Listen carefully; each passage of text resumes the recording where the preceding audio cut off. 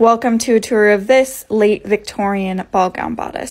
Now, when I purchased this bodice, I purchased it from a reseller. It was a museum deaccession, and it was characterized to be 1870s, but there isn't a ton of information about what exact date it should be from.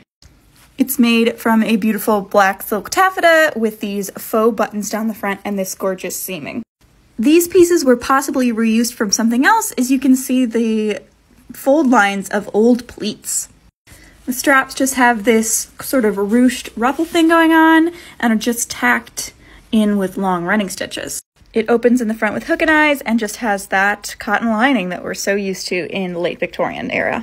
It has a mixture of hand sewing and machine sewing, and you can see that this lining was reused too because there's a fish dart that's been taken out. There's a lot of interesting features in this bodice.